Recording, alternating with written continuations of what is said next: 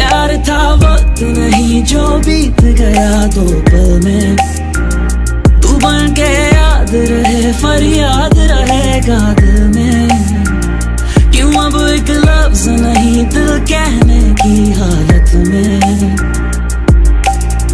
सोचा कहूँगा एक दिल।